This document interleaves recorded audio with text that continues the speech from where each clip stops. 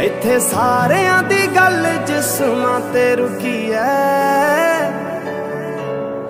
ਰੂਹਾਂ ਵਾਲਾ ਪਿਆਰ ਬਰਬਾਦ ਹੁੰਦਾ ਏ।